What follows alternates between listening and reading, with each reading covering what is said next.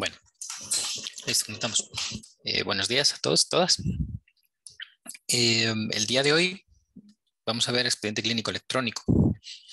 Mm, la verdad es que tengo que confesarles que es mi clase favorita porque es la herramienta más eh, relevante, en mi opinión, muy compleja de, de, implementar, por supuesto, y de desarrollarla también dentro de lo que es el ámbito de sistemas de información para la salud. Pero eh, no, cabe en la menor duda de que si, tenemos algo en los sistemas públicos de salud, sobre todo en los públicos, en los privados obviamente también, son los servicios de salud. Salud pública es mucho más grande que, que eso, ¿verdad? Pero los servicios ahí están y de alguna manera a las personas cuando se enferman hay que atenderlas. Y bueno, pues eh, afortunadamente a lo largo de la historia, pues e, ese proceso de atención se ha ido mejorando, sistematizando y el elemento principal o digamos eh, eh, el foco eh, se establece en algún instrumento que llamamos expediente clínico. Bueno, en realidad cada país lo llama como le da la real gana, ¿verdad? Historia clínica, expediente clínico, registro médico, whatever. Hay un montón de denominaciones para exactamente lo mismo. Y por supuesto, pues inmediatamente a uno se le ocurre, bueno, si tenemos computadoras, si tenemos herramientas informáticas para un montón de cosas, ¿por qué no para la salud, verdad? En este aspecto, particularmente de la gestión del expediente clínico. Y cuando hablamos de gestión del expediente clínico, estamos hablando de absolutamente todas las manos que tocan ese instrumento inmenso. ¿Ok? Porque si uno se pone a pensar, todos los profesionales de salud eh, que intervienen en el proceso de atención eh, en un establecimiento, no importa qué nivel sea, eh, tendríamos que pensar en proporcionarle a esa persona, ese profesional, eh, un equipo informático de algún tipo para que pueda hacer su labor y la registre en el expediente, solo para comenzar. Ahora, si damos otro, damos otro pasito más, eh, por supuesto, eso es lo primordial, ¿verdad? La atención de la salud de la persona usuaria del servicio.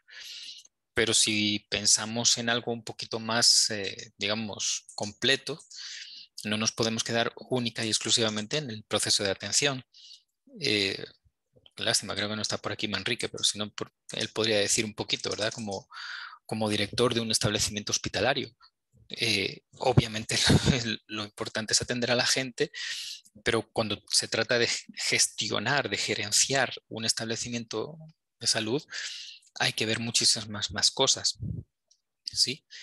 En, el mundo, digamos, empresarial, eh, este, todas las empresas definitivamente necesitan una herramienta que les permita eh, hacer su trabajo de manera más eficiente. Eso se conoce como ERP, Enterprise Resource Planning, o sea, una herramienta informática que, que te permita tener el control de tus recursos humanos, de tu inventario, de las ventas, todo. En el caso del, del, sector salud, de los establecimientos, es exactamente igual. Solamente que estamos hablando de profesionales sanitarios y algunos administrativos, también otro tipo de personal. Eh, cuando hablamos de inventario, pues estamos hablando de medicamentos, de insumos médicos. Eh, de todo lo que es planificación del establecimiento, el presupuesto, la ejecución, la facturación, si estamos hablando del sector privado, en el caso público, la facturación no es primordial, pero eh, siempre yo que sigo involucrado en, temas de implementación de expediente clínico, incluso en el sector público, eh, la gente dice, pero ¿cuánto cuesta una consulta en promedio? Porque yo no le puedo decir a la persona atendida, fíjese que a usted le salió gratis su atención, pero su consulta con sus medicamentos, con sus exámenes, con sus radiografías, etcétera, le costó al Estado tanto. ¿Ok? No pago ni un 5, lo pagamos todos con nuestros impuestos, todos y todas. Pero esto es lo que le va, esto es lo que valió su consulta. Entonces, al final de cuentas, también hay por ahí involucrado un, sistema de facturación, eh, aunque no se haga efectivo, ¿ok? O no se intente establecer un copago ni nada de eso. Uf, no, por favor, ojalá que nunca pase eso en El Salvador de plan. Eh, aunque se intentó en tiempos pretéritos, ¿verdad? Con los, patronatos y esas cosas. Pero bueno, afortunadamente en el 2009 eso fue radicalmente, erradicado de manera total. En cualquier caso, pues eh, como les digo, hace falta gestionar el expediente, profesionales sanitarios tienen que ingresar al sistema para aportar información o consultar información de la atención y, por supuesto, necesitamos poder gerenciar bien nuestro establecimiento. ¿Cómo podemos hacerlo? Pues con herramientas de expediente clínico electrónico. Entonces, en la clase de hoy pues vamos a hacer un recorrido de las características, de las necesidades que se tienen y de los desafíos para poder lograrlo. Y, bueno, eh, vamos a ejemplificar el expediente clínico electrónico pues con el expediente clínico electrónico que tiene El Salvador, el mejor de todos, pues, eh, que ahora se llama SIS, anteriormente se llamaba SIAP. ¿Okay? Por lo menos vamos a ver un pequeño videito de una de las protagonistas, de artífices del sistema, explicando cómo se hace. Que muchos de ustedes eh, probablemente ya tienen experiencia en este tipo de herramientas y no es que vayan a ver algo súper novedoso, ¿verdad? Impresionante. Em, bueno, dicho eso, procedamos. Muy bien. Primer cosa que probablemente ustedes, aunque siempre habrán escuchado hablar del expediente clínico electrónico, nunca, nunca se han parado a pensar, pero es importante si se van a meter en ese jardín. Hay diferentes denominaciones para casi lo mismo. Igual que hay diferentes denominaciones para el instrumento, como les contaba, expediente clínico, historia clínica, registro médico, etcétera. Lo mismo pasa un poco con el tema de, las herramientas informáticas que se tratan de esto y tienen diferentes alcances y es muy importante que ustedes los conozcan. El más normal, el más conocido, el que maneja la OMS, eh, la OPS también, es Electronic Medical Record, Electronic Medical, Medical Record, ¿ok? Registro médico electrónico, expediente clínico electrónico. Y puedes poner ya el apellido como en tu país se llame ese instrumento, ¿verdad? De papeles. Eh, tiene un alcance particular, ¿ok? Eh, que ahora vamos a ver dentro de un momentito. Eh, hay otra denominación que sí tiene una diferencia relevante, ¿ok? Electronic Health Record, registro electrónico de salud. Entonces ahí uno dice, chica, y, no es eso como un poco cosmético, ¿verdad? Que ya lo llamamos médico, lo llamamos de salud pues es tan sutil como la distinción que puede haber entre eh, la atención clínica y la atención de la salud. Entonces tú dices, ah, o sea que la salud, eh, cuando hablamos de expediente electrónico de salud no estamos hablando únicamente de la atención que se recibe en un servicio de salud, sino de otra serie de, de elementos, ¿verdad? La salud es muy grande y como vimos la semana pasada, incorpora aspectos socioeconómicos, educativos y demás. Porque una persona, si queremos tratar su salud, la tenemos que tratar de manera, es un poco cliché la palabra, pero es integral, así de, bonito. Entonces, en un expediente electrónico de salud hay muchísimas más cosas involucradas, no solamente el proceso de atención cuando la persona se enferma, ¿verdad? Eh, estas denominaciones, de hecho, yo les recomiendo, ahí les he dejado una lecturilla en el muro, eh, la lectura del BID, que está buenísima para que tengan un conocimiento específico, ¿verdad? Sobre esto que yo les estoy contando un poquito así por encimilla. Veamos un poquito esas diferencias. Si hablamos de eh, registro médico electrónico, expediente clínico electrónico, estamos hablando de un expediente de una persona en un establecimiento o a lo mucho los establecimientos de una misma red de atención. ¿Ok? Pensemos en el Ministerio de Salud, pensamos en el Instituto Salvadoreño de Seguro Social. Entonces, el, expediente clínico que tienen en el Ministerio de Salud es un EMR. ¿Ok? Y sí, ok, por, por, suerte ya las cosas han ido avanzando poco a poco, ya se tiene un expediente único, que también es uno, uno de los conceptos más utópicos, ¿verdad? Llegar que, una persona y su expediente eh, clínico, su expediente de salud, sea uno para, sea donde sea, porque la persona no, se divide, ¿verdad?, en pedazos, independientemente de dónde la atiendan. Pero bueno, por lo menos en este momento ya así, o, así debería ser, o así, a, eso se, se, apunta. Si tú vas eh, al primer nivel de atención a una unidad comunitaria de salud familiar, ahí te atienden.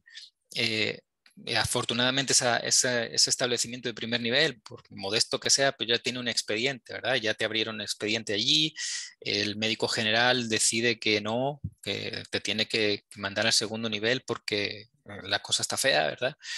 Y te mandan, te mandan al hospital de referencia. Eh, ¿Qué pasa en el hospital de referencia? Van y te abren otra vez otro expediente. Empiezan desde el principio, bueno, de cero. Entonces, afortunadamente eso ya no está pasando o, está dejando de pasar. No digamos así eh, presuntuosamente que ya, que ya eso está totalmente resuelto porque no es cierto. Pero poco a poco va, va, haciendo, va integrándose el expediente y va siendo uno en el Ministerio de Salud.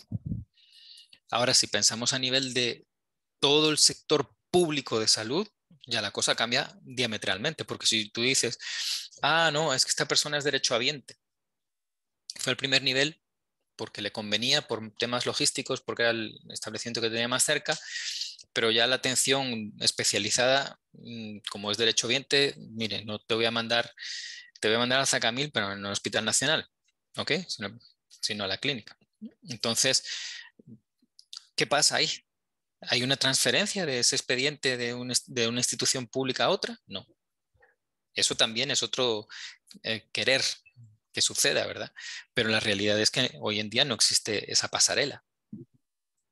Si existiera, entonces estaríamos hablando de que ese, ese expediente ya no es un expediente clínico electrónico, sino que es un expediente electrónico de salud, porque ya tiene diferentes entradas de diferentes instituciones y no necesariamente, como les digo, del sector salud, no necesariamente, ¿ok? Eh, como les pongo ahí, en este caso, ya podemos estar eh, incorporando, podemos estar viendo elementos que van mucho más allá de la salud, elementos que son del contexto en el que vive la persona y que pueden ser muy relevantes, muy importantes para que el profesional sanitario que atiende ya en un servicio sanitario le, le diga a la persona, mira, tu problema no, no es la enfermedad que presentas, tu problema es lo que la causa. Y yo te puedo tratar la enfermedad, pero eso te va a durar X tiempo y vas a volver otra vez a la misma historia. Y esto va a cronificar, etcétera, etcétera. Entonces, definitivamente, si por ejemplo estuviéramos incorporando, que de hecho ya, ya sucede, todo lo que nosotros tenemos en la ficha familiar, en el sistema de información de ficha familiar, y lo podemos consultar dentro de la, de la consulta al expediente o de los antecedentes, cada vez que viene un paciente a nuestro servicio, entonces estamos hablando de un expediente electrónico de salud. ¿ok? Porque ya incorporamos otras cosas más allá de la atención que esa persona ha recibido en ese centro de salud o a lo sumo en los de la misma red, ¿ok? Entonces, para que ustedes cuando vean por ahí eh, esas definiciones y sepan identificar las diferencias, eso es, un poquito la, discusión que hay sobre esos términos. Si necesitan, como les digo, más, un poquito más de detalle, más, mejor, más fino, pues ahí está el documento del BID donde se describen eso con perfección. Muy bien, veamos cuál es el objetivo general que tienen cualquiera de los dos. No importa si es un expediente electrónico médico o clínico o si estamos hablando de un expediente clínico de salud. Indudablemente, primordial número uno, nuestro paciente, nuestra paciente. ¿ok? Eh, no, no es un secreto realmente que, que bueno, la palabra elegida para eso en, este tema, eh, por lo menos desde el punto de vista de la parte administrativa, en general requiere mucha paciencia. ¿Ok? Tú estás enfermo o enferma, vas a que te atiendan esa enfermedad y, en muchas ocasiones eh, las personas prefieren ni ir porque van a ser sometidas a una tortura administrativa o burocrática, a esperar tiempos completamente desproporcionados para cualquier eh, acción, como les digo, administrativa, por ejemplo, abrir, el expediente, que te den otra cita, eh, cualquier cosita que involucra más allá de lo que es la, propiamente la atención, que generalmente dura muy poquito, ¿verdad? Diez minutos y ya, sale para afuera. Todo lo demás, las, toda la mañana que echaste, toda la tarde que echaste para, para que te atendieran, en realidad se te fue en esperas. ¿sí? Entonces, eh, ahí todavía permanece vigente el hecho de que la persona atendida, la persona usuaria, se la llame paciente, porque de plano hay que serlo. Entonces, lo que uno pretende cuando, cuando implementas un sistema informático, eh, en cualquier caso, ¿verdad? Pero mucho más en este, en este ámbito, es que esa atención sea mucho mejor, sea mucho más diligente, más rápida. Y no es porque la gente que atiende, desde el punto de vista administrativo, las personas que, que, se encargan de dar citas, las personas que se encargan de estar en estadística de documentos médicos abriendo expedientes, sean mala onda y quieran tratar mal a la gente. De todo hay, obviamente, ¿verdad? Hay gente que se echa leña, pero en general lo que pasa es que esas personas no tienen herramientas adecuadas para, para hacer bien su trabajo y se obstinan y se, y se frustran bueno, al cabo del tiempo, todas esas personas, todos esos funcionarios y funcionarios acaban frustrados. Eh, eh, digamos, esa. Yo, voy a decir algo que quizá puede ser criticable, ¿verdad? Pero eh, ese, aura que tienen los funcionarios y funcionarias del seguro, particularmente los del seguro, de, de, ser mal encarados, de maltratadores y demás, ¿por qué? ¿Por qué son así? Esas personas no son malas, porque han llegado a ser maltratadores y maltratadoras de pacientes. Probablemente porque las herramientas que han tenido a su disposición no han sido las mejores para, para, tener un trabajo satisfactorio de cara al, público atendido.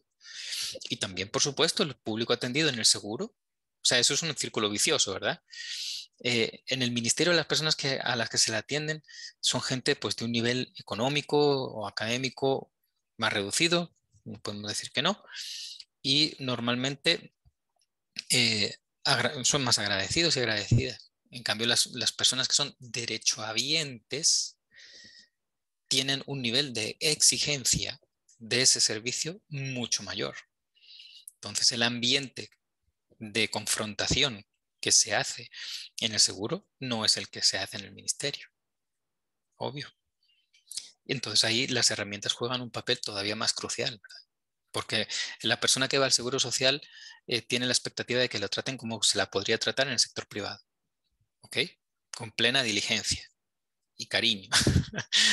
en cambio, las personas que van al, sistema del Ministerio de Salud en general eh, saben que les van a atender lo mejor que se pueda y esa es su única opción. Entonces la expectativa es muy diferente.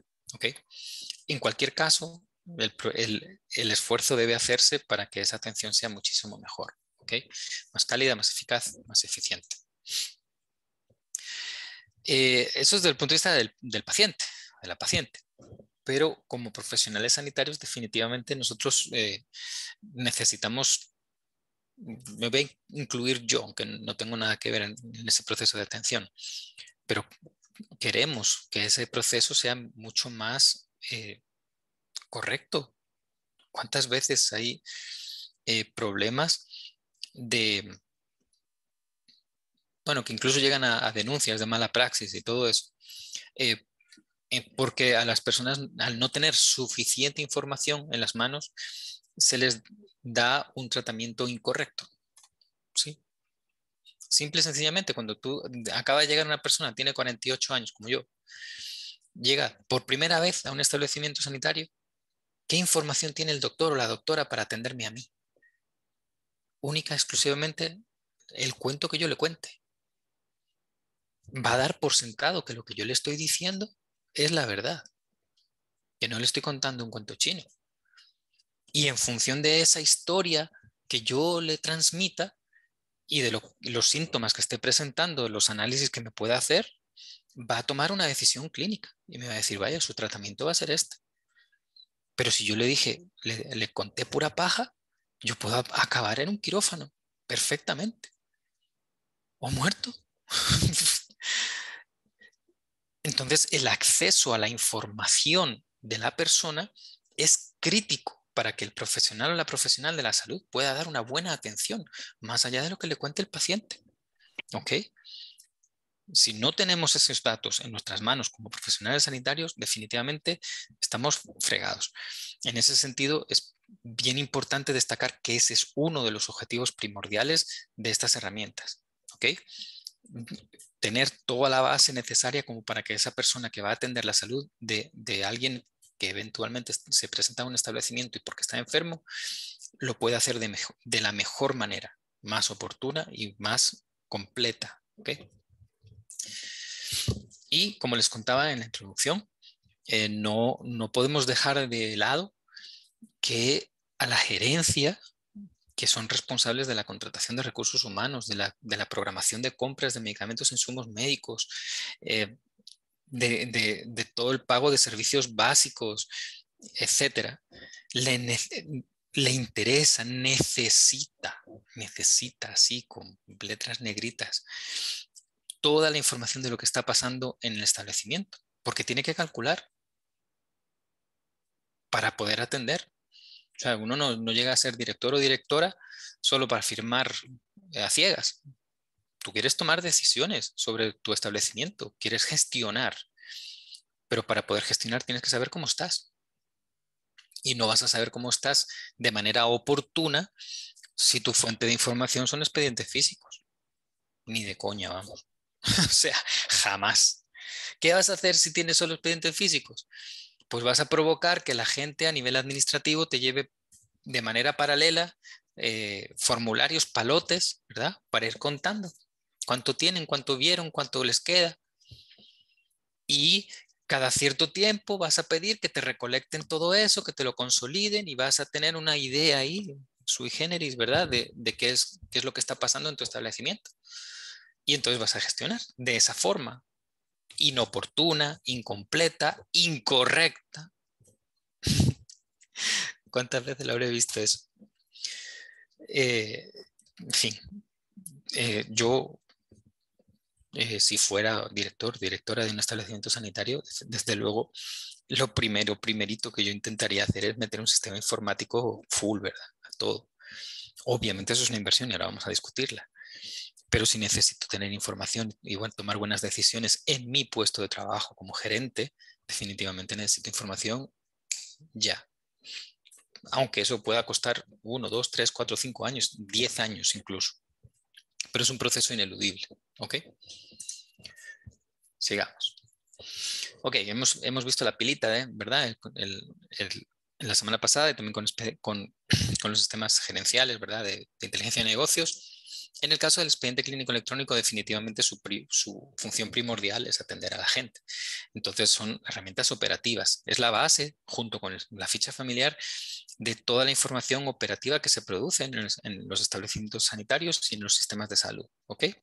Ahora, tener eh, directamente cuántas personas está viendo en este momento en la consulta externa, eh, cuántos consultorios, eh, cuánto tiempo estuvo ocupado el consultorio, la ocupación de los quirófanos, la disponibilidad en las farmacias, las existencias en las bodegas del propio hospital, que no, tiene por qué estar simplemente en la farmacia, la cantidad de análisis de, en el laboratorio que está haciendo, la disponibilidad de en el banco de sangre, el número de, de pedidos a la, unidad de radiología.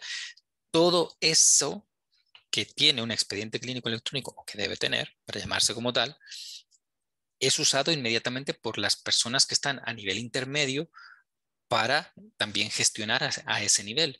El jefe, de jefe o la jefa de consulta externa definitivamente necesita saber si llegaron, si llegaron todas las personas a atender y cubrir eventualmente una ausencia. Eh, eh, obviamente van, van a empezar a analizar, y eso es de hecho uno de los obstáculos más grandes a la hora de implementar expediente clínico electrónico. ¿Cuántos, ¿Cuántos pacientes está viendo cada doctor, cada doctora? ¿Cuánto tiempo por paciente está utilizando? Porque hay gente muy sinvergüenza. No me van a dejar mentir. Pero sobre todo en el tercer nivel de atención, hay gente que de hecho se, oponía y probablemente se sigue oponiendo a utilizar expediente clínico electrónico para evitar ese control. Ver a sus pacientes en dos horitas y jalar a su clínica privada. ¿Ya? Prácticamente que su participación en, el sistema público era casi como una donación, ¿verdad? Como eh, algo de misericordia obviamente se opone, por supuesto, a cualquier herramienta que controle su estancia en el establecimiento, o sea, cantidades de, pacientes que ven y todo, esa información no es operativa, esa, esa información es táctica, ¿ok? Es de nivel intermedio.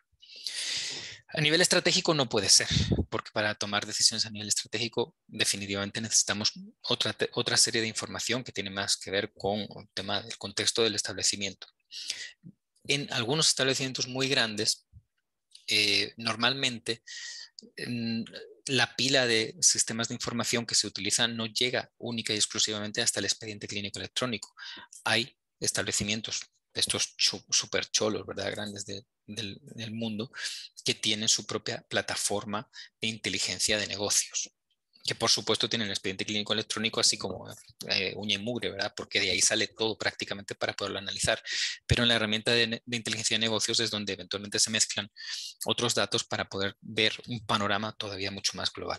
¿Ok?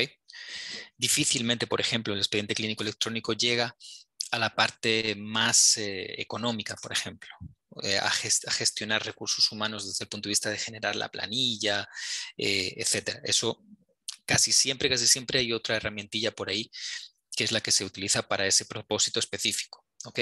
Y ya la mezcla de las dos cosas, entonces se, analiza a nivel de inteligencia de negocios con una herramienta adicional. El expediente clínico electrónico, por tanto, es a nivel operativo y a nivel táctico como mucho.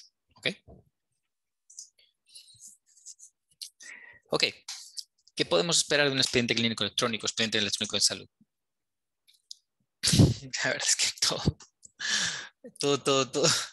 Si nos vamos a un establecimiento de primer nivel de atención, híjole, uno entra al, al, digamos, al edificio, ¿ok? La unidad comunitaria de salud familiar, a la clínica del seguro, etcétera. Y, digamos, persona por persona que tú vayas viendo, ¿verdad? Que trabaja en el, en el establecimiento, ahí vas viendo un módulo del expediente. Cada uno necesita tener acceso al expediente clínico para su labor, ¿ok? todo lo que es la, actividad intramural, que tiene que ver con curaciones, con la atención de emergencias pequeñas, ¿verdad? Eh, todo toda la parte de vacunación, eh, prevención de la salud, promoción de la salud incluso, eh, la consulta, por supuesto, el laboratorio, todo, todo, todo. Y como les digo ahí, hasta la bodega de insumos de limpieza, ¿por qué no? Y después siempre pasan cosas raras, ¿verdad? Que desaparecen y empiezan los, líos ahí, que de repente se compró tanto, tantas escobas y tantos desinfectantes, eso lo, escuché yo, lo vi yo, y, y uh, se volatilizó. ¿Dónde, ¿Dónde acabó? ¿Y cómo se tiene la contabilidad de lo que se está usando y tal? Si te pones así, místico, definitivamente hay que informatizar hasta la bodega de limpieza. Y si estamos en segundo y tercer nivel, bueno, ni les cuento, ¿verdad? Eh, bueno, hoy sí ya tenemos aquí a Don Edgar, que va a ser el que, el que nos va a decir qué tal le va en el hospital implementando el expediente en cada uno de los rincones del hospital. Me imagino que esa es su, expectativa, ¿verdad? Y hasta qué punto se ha podido llegar, lo difícil que es, porque es muy difícil, eso por favor, eh, tengámoslo muy claro, aunque ahora lo sigamos discutiendo.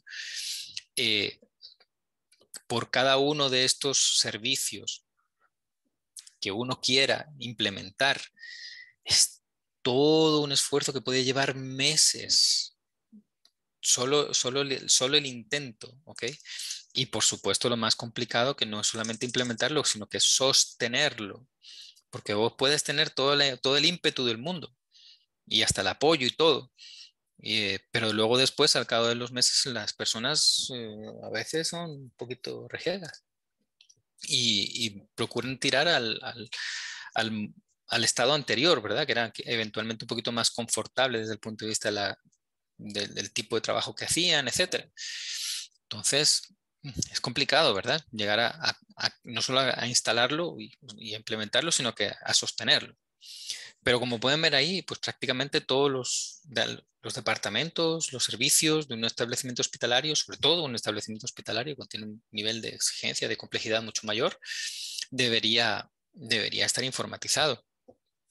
Y como les comento ahí, eh, eventualmente se ha visto, ya no, ya no tanto, porque ya hay herramientas de expediente clínico electrónico especializadísimas que, que entran directo ¿verdad?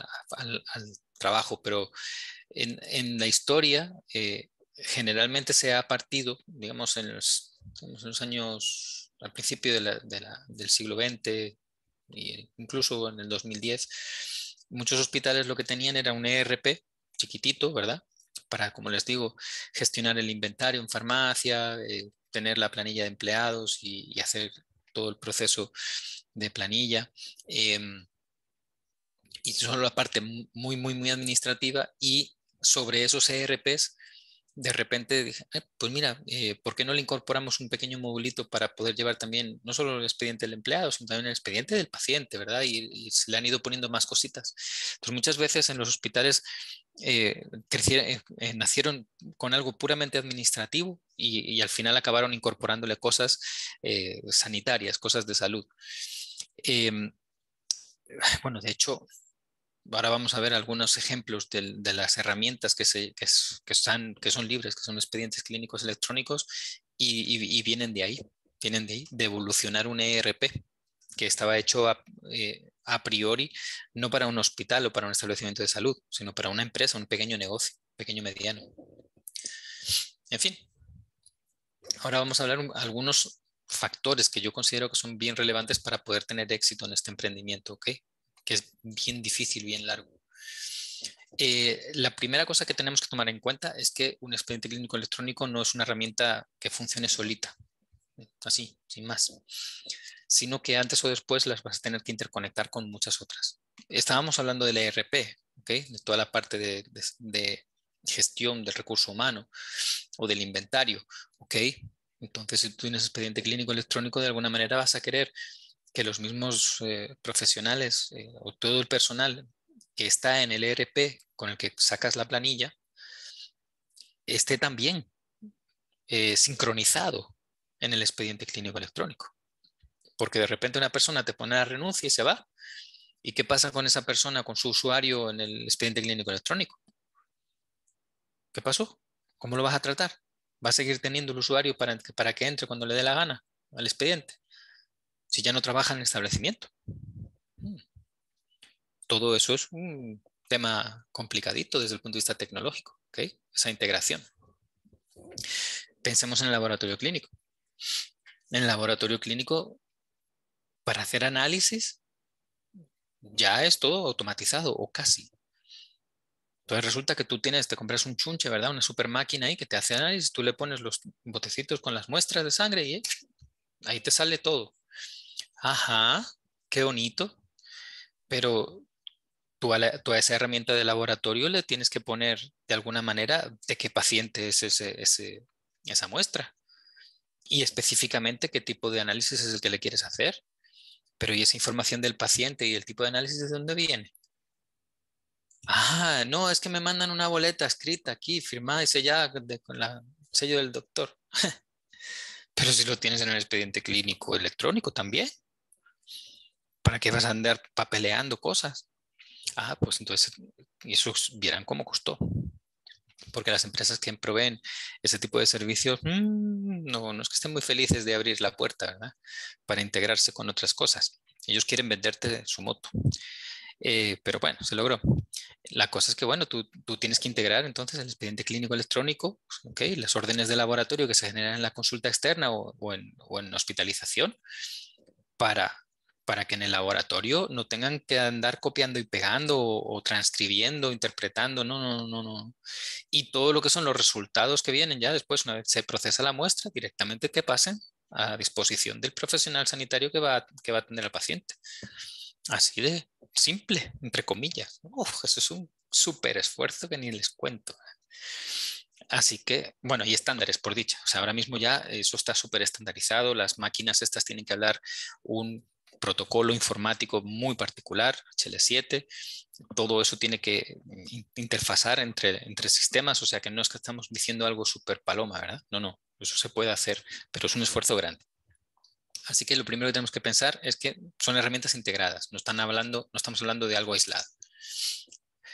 Otro punto importante, y en este sentido eh, eh, es algo que, que conviene desde un punto de vista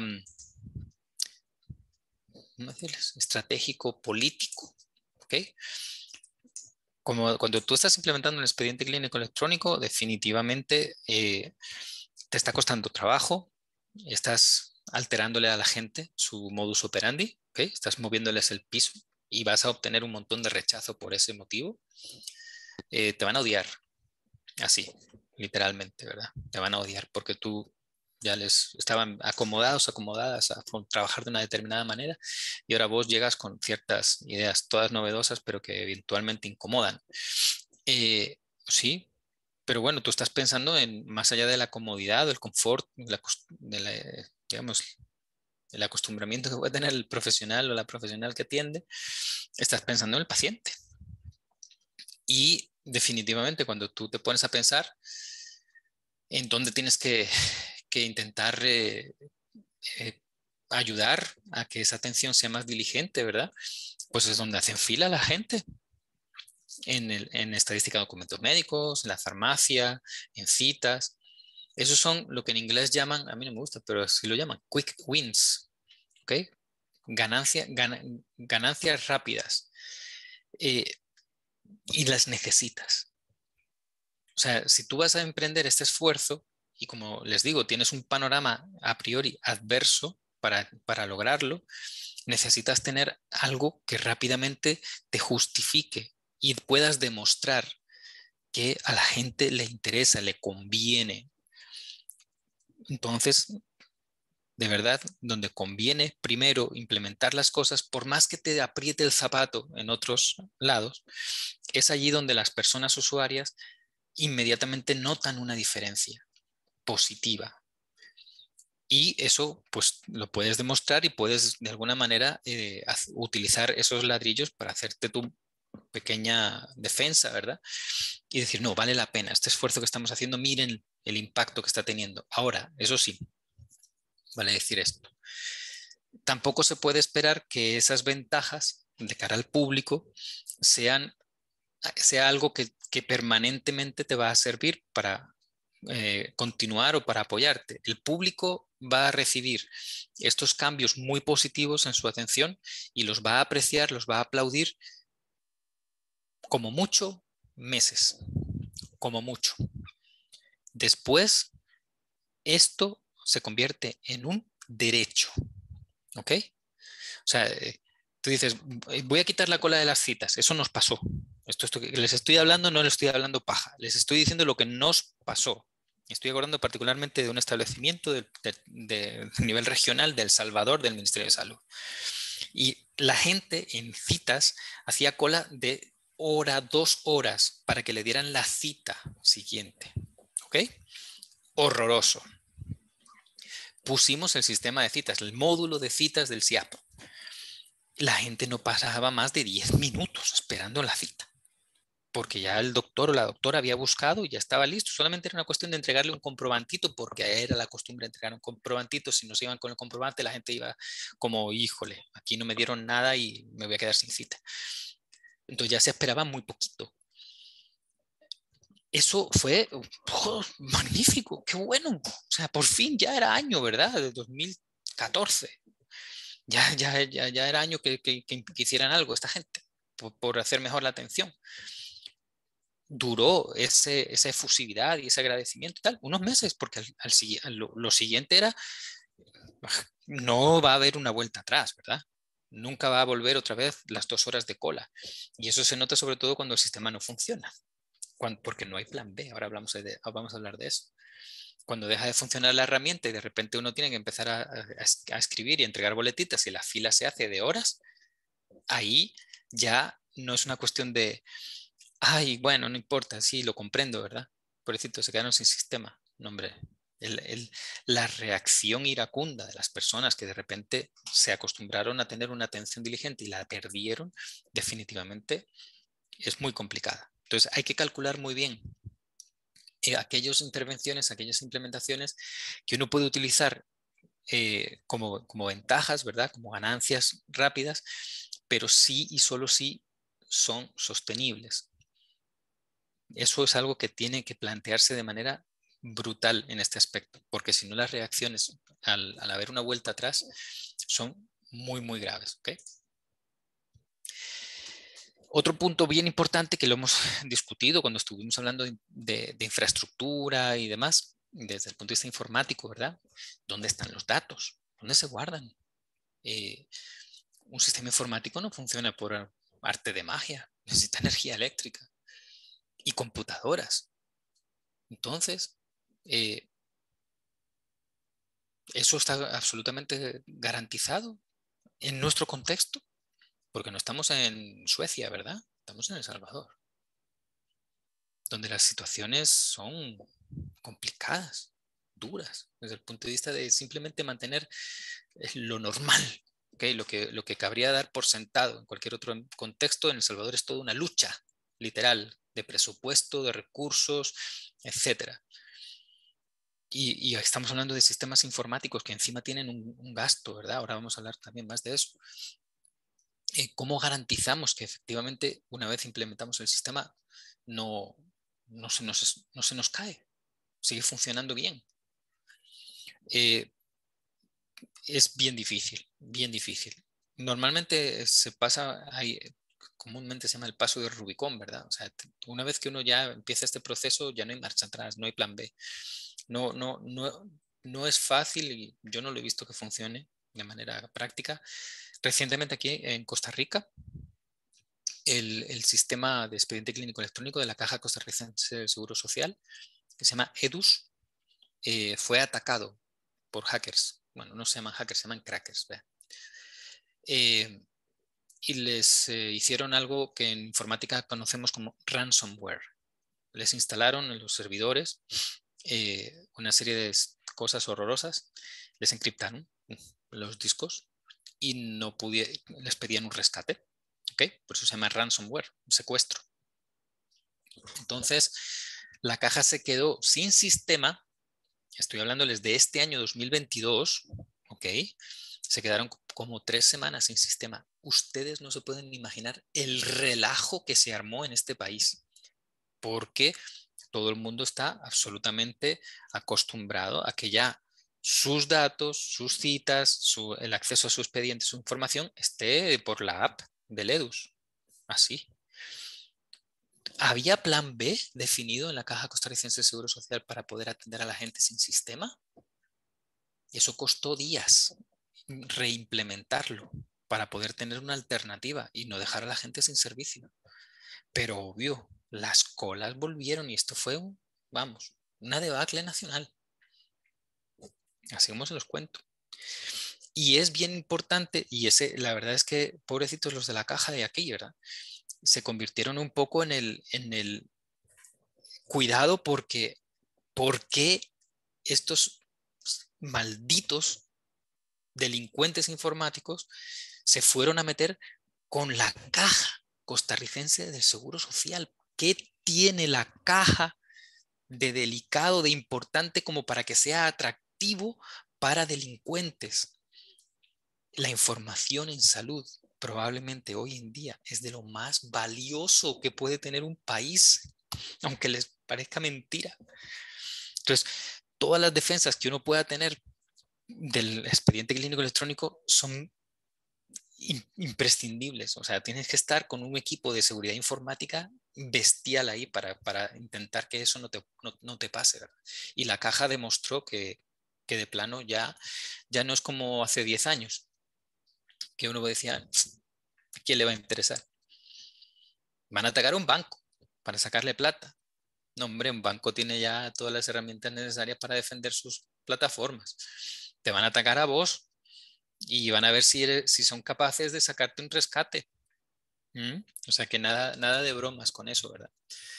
Eh, en cualquier caso, en nuestro contexto, como les digo, que es muy delicado, muy complejo desde el punto de vista del, acceso a recursos económicos, sobre todo financieros, eh, definitivamente uno nunca debe olvidar que, puedes necesitar eh, tener un plan B, siempre ahí previsto, ¿verdad? Si tienes que volver al papel, nunca dejes de tener en el escritorio todo lo necesario, el escritorio de, las de los consultas y demás, eh, ese plan B porque sobre todo como dependes de la energía eléctrica, tenemos un país muy vulnerable en aspectos, eh, lo de la energía definitivamente puede convertirse en un gran problema. O, y eso sí nos ha pasado, ¿verdad?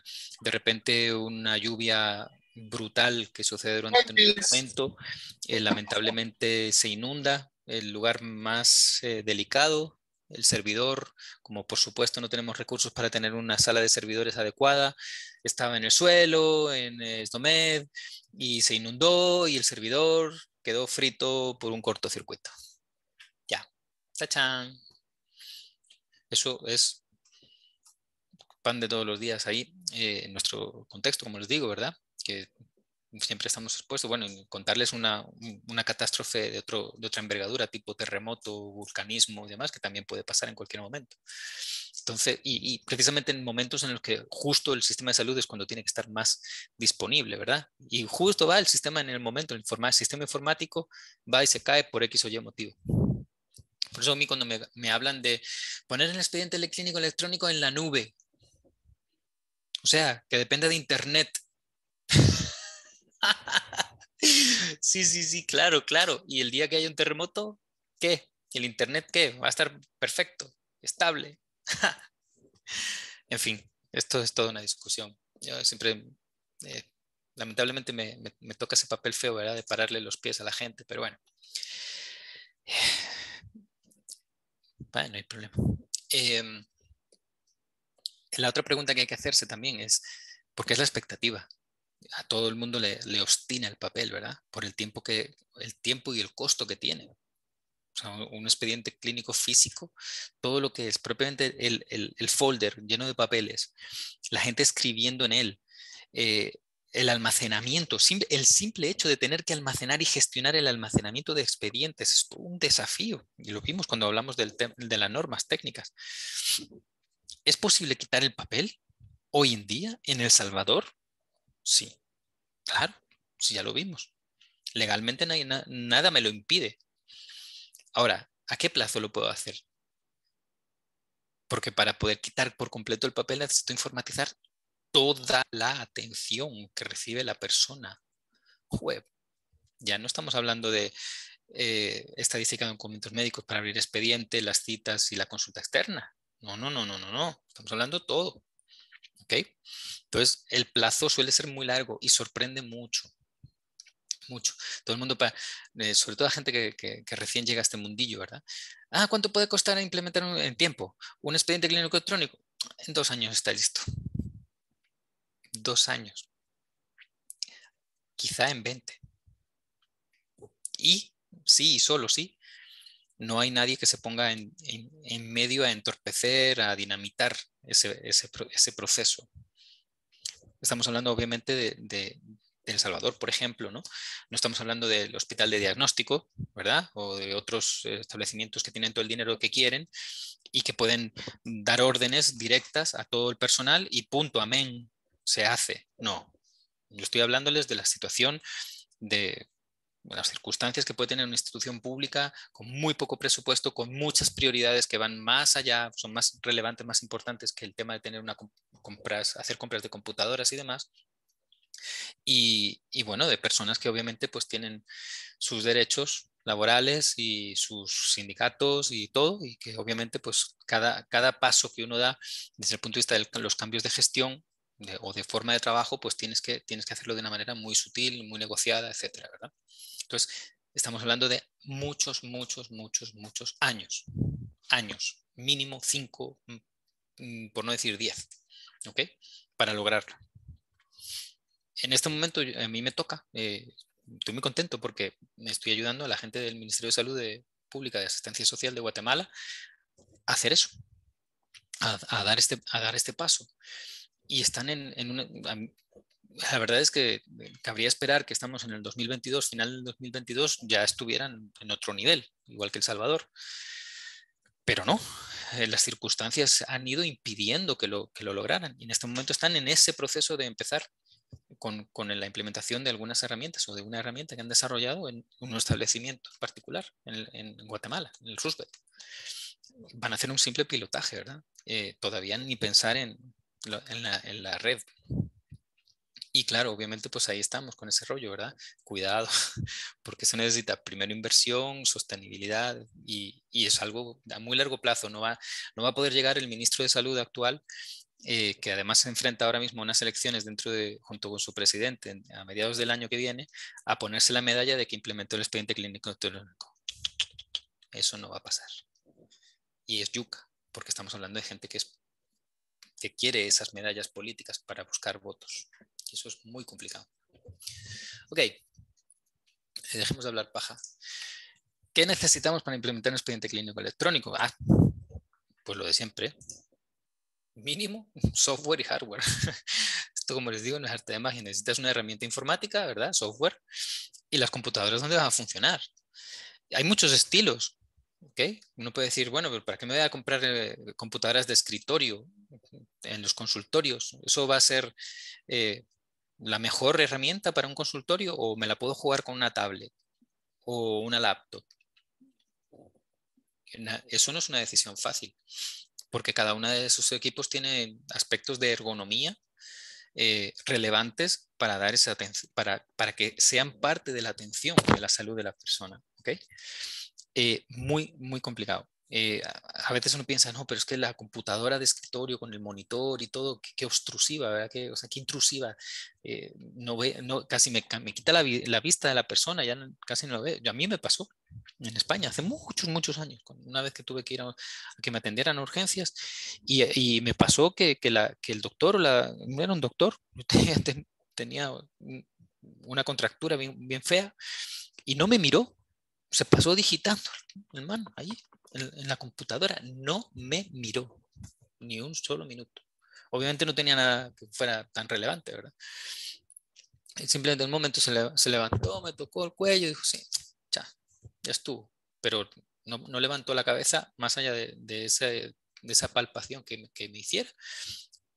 Eh, estaba con su computadora. Entonces hay que tener mucho cuidado con, con, estas herramientas que se implementan y hasta qué punto abstraen de ese contacto humano que una persona atendida espera del profesional, ¿verdad? En algunos países, de hecho, tanto por cuestiones de, privacidad o de manejo de datos, eh, por legislación de, gestión de datos personales, como por esa, esas implicaciones desde el punto de vista de la deshumanización de los servicios de la salud, es bien, bien importante, decidieron dar marcha atrás a los expedientes clínicos electrónicos por ese motivo, porque la gente se dedicaba a cumplir con su labor administrativa y dejaba a un lado ese, trato humano. Bien, bien importante lo que les estoy contando. Otro punto muy relevante que, que bueno, medio les he eh, eh, adelantado es el de la conectividad. Miren, las computadoras, esto ya no son aplicaciones que corran en la computadora eh, así, ya directamente, ¿verdad? Sino que normalmente están conectadas con un servidor Eventualmente hay quienes quieren, como les digo, implementar expedientes clínicos electrónicos en la nube. O sea que esa computadora que está en ese consultorio va a estar conectada con un switch que a su vez va a estar conectado con un router que a su vez va a estar conectado con un sistema en Internet y ahí está la aplicación. Y allí se guardan los datos. ¿Allí dónde? Allí, quién sabe dónde. ¿Ok? La nube es como una historia abstracta, ¿verdad? Ya saben, los datos en realidad van a estar en algún lugar, en Ohio, en California, a lo mejor uno puede elegir el data center que esté en Brasil. Ahora estaba escuchando que en México van a, implementar, incluso en España también, no, hay data centers de, de estos grandes proveedores de las nubes. Entonces, bueno, necesito garantizar esa conectividad. Voy a tener la capacidad económica de contratar dos proveedores de servicios, por si se cae uno tener el otro, como les digo, no hay plan B o es muy difícil de, poner en marcha, ¿verdad? Entonces esa conectividad tiene que estar garantizada. Eh, tengo la posibilidad de usar tablets porque esa tablet va a tener buena conexión Wi-Fi en el propio establecimiento o son todo paredes de concreto que no pasa la Wi-Fi por, por ningún lado. Porque en ese caso tengo que cablear. ¿Cuánto cuesta un punto de red cableado?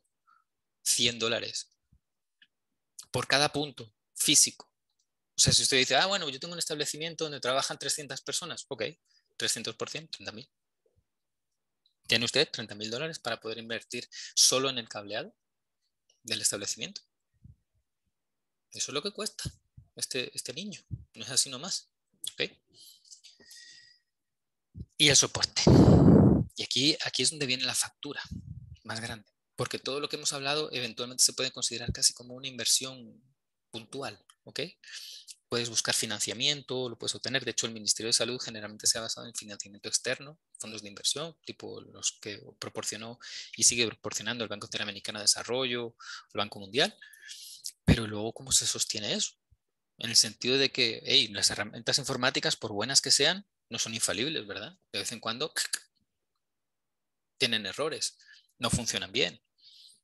Hay personas que tienen dudas. Sí, sí, se le dieron una capacitación. Sí, pues una capacitación donde me contaron las cosas en dos horas y después ya, si te he visto, no me acuerdo. Pero yo ahora tengo un problema con el sistema. ¿Quién me atiende? Tengo al paciente aquí delante y tengo un problema con el sistema. ¿A quién llamo que me resuelva?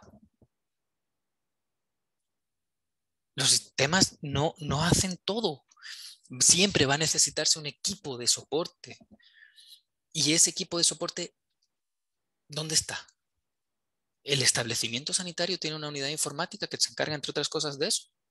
Ah, no, no, no, es el Ministerio de Salud el que tiene ahí un equipazo de gente y un, hasta un call center eventualmente para que tú lo llames y, te diga y se metan y vean lo que está pasando y te ayudan.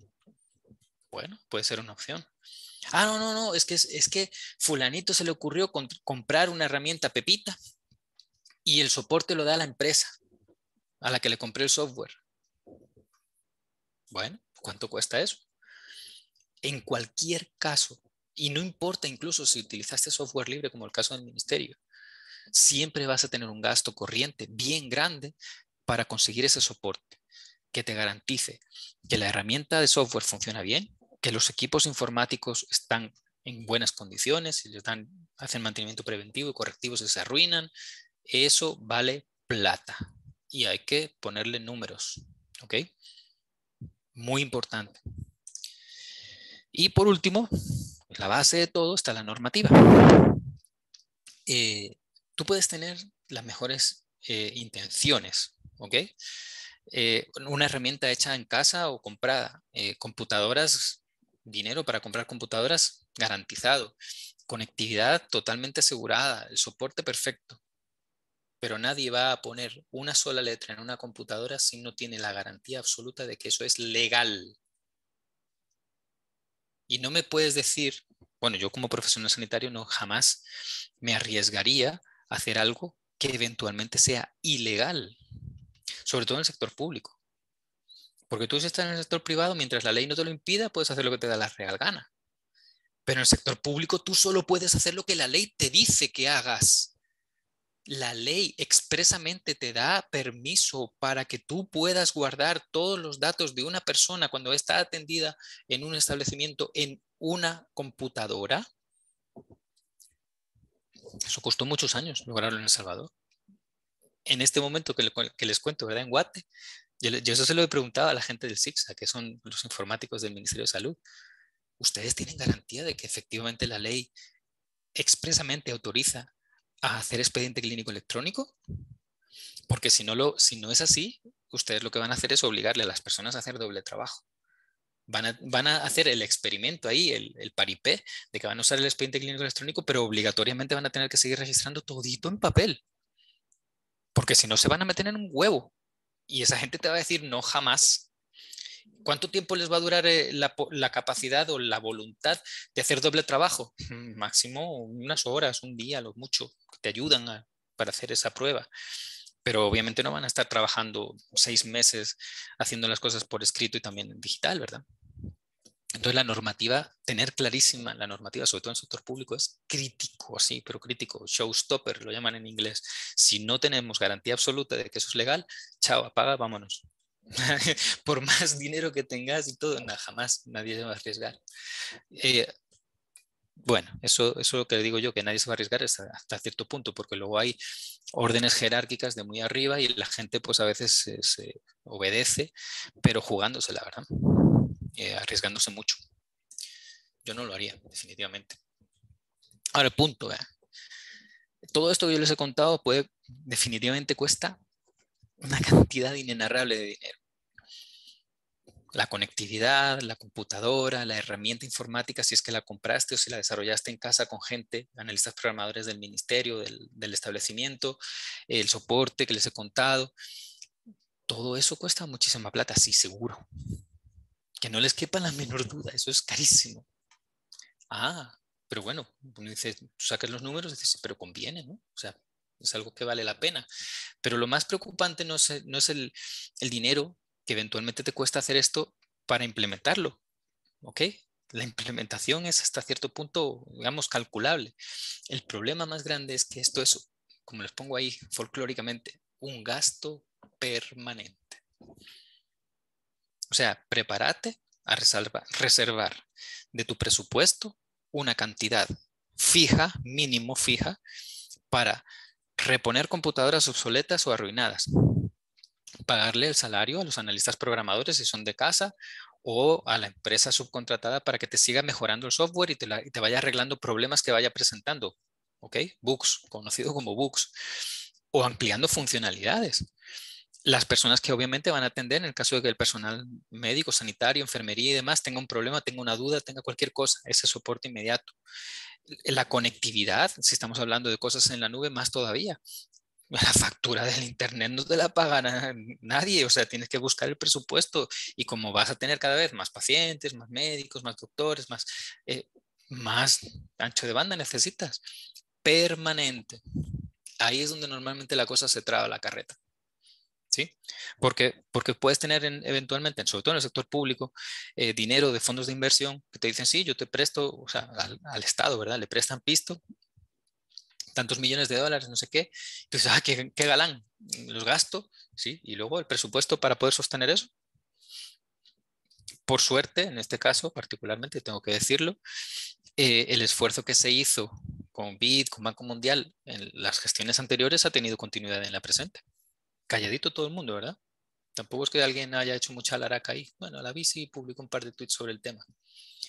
Pero, pero en realidad todos soy más o menos eh, bajo perfil porque todo el mundo sabe, de verdad que es un esfuerzo de muy largo plazo y si no se quiere arruinar, mejor calmaditos, ¿verdad? Y nadie, nadie armando relajo con el tema. Pero en cualquier caso, ¿hasta qué punto realmente está esto incorporado en el presupuesto, en fondo general? Y no se está siguiendo de, no, se, no se sigue, digamos, abusando de los fondos de préstamos. Eso ya no lo conozco yo porque ya no estoy en la jugada en El Salvador.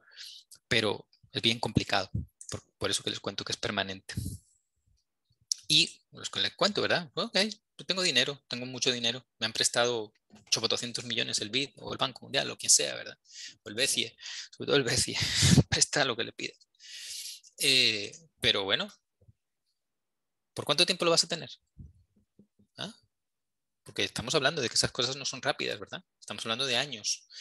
Puede durar muchos años, como les digo, 5, 10, 15, eh, imagínense, el Hospital Rosales empezó con el SIAP, con la primera versión del SIAP, en el 2007. O sea, 15 años han pasado desde que el Rosales hizo su primer esfuerzo de implementación del SIAP. El Bloom y Maternidad, que son los otros dos hospitales que también desarrollaron sus propias herramientas, por ahí andaban sino antes incluso. El Bloom sobre todo tenía un, tiene un equipillo ahí de gente muy proactiva, sus propias ideas obviamente, que también hicieron una herramientilla de expediente clínico electrónico y formatizaron algunas partes.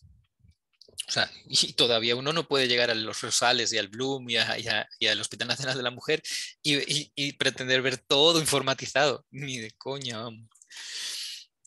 o sea, imagínense, llevan 15 años, 15 años convencidos de que eso era verdaderamente la apuesta a seguir y todavía no, se ha logrado. Con todo y financiamiento, no es fácil, en absoluto. Entonces, otro punto importante eh, es que no solamente se trata de tener dinero, de calcularlo y demás, sino que, como les decía, el, personal de los establecimientos de salud juega un rol muy relevante en este proceso. Y eh, de hecho, ahorita en, Guate, como, estamos, como les cuento, una de las cosas más relevantes es cómo se va a gestionar el cambio para que esas personas que eventualmente pueden tener una actitud adversa eh, pasen a tener una actitud cooperativa. Eh, ¿Qué, ¿Qué, acompañamiento se necesita? No solo para convencerles de que, de que, vale la pena, sino para que se sientan satisfechos, satisfechas de usar una herramienta informática que va a hacer mucho mejor su trabajo, que va a producir ese beneficio, para que, para que se convenzan de que es así. Se necesita invertir dinero específicamente en ese proceso. Para, para, para que no haya una reacción que, que, que de alguna manera impida que esto suceda. Ok, platiquemos una cuestión también. ¿Hasta qué punto es rentable? Porque tú dices, sí, todo un montón de dinero, todo un gran esfuerzo.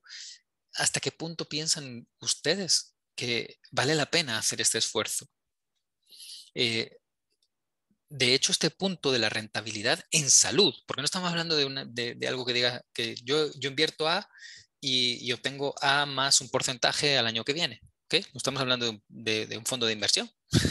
estamos hablando de que yo me gasto plata y pretendo que la gente tenga mejor salud. Plata a cambio de mejor salud. ¿ok? Y una herramienta informática como, como túnel para conectar eh, A y B. Entonces, ¿hasta qué punto eso es viable? ¿Hasta qué punto se ha demostrado de que es una inversión rentable en salud? ¿Ok? ¿Qué piensan ustedes? ¿Ustedes creen que, ha habido estudios y que de alguna manera eh, este tipo de, iniciativas valen la pena para que la gente tenga mejor salud o no? ¿Qué opinan? menos un par de minutos. Abran ahí el micrófono ahí con gusto. Venga, hagan catarsis con todo. ¿Tienen alguna opinión ahí?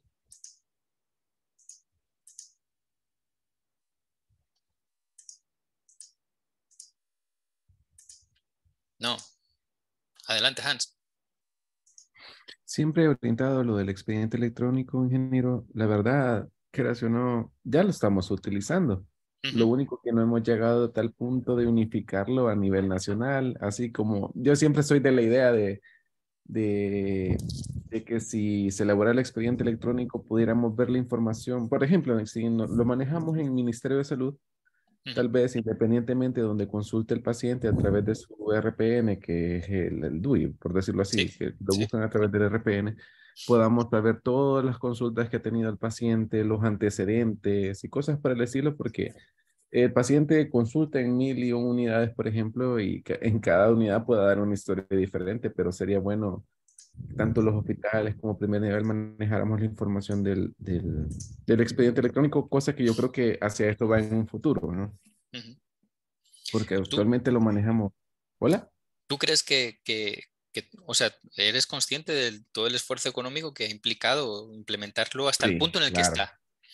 Claro, claro. Aunque tengamos muchas expectativas y, sepamos que todavía falta un gran camino por recorrer.